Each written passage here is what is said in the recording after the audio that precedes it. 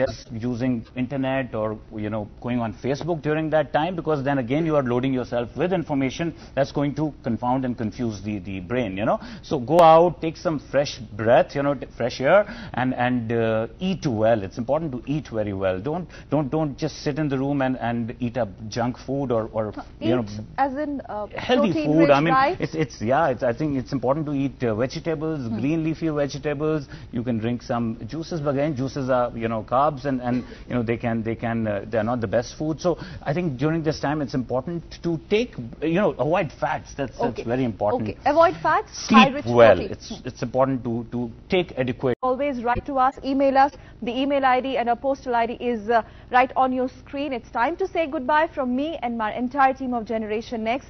Thank you so much for tuning in. Thank you very much.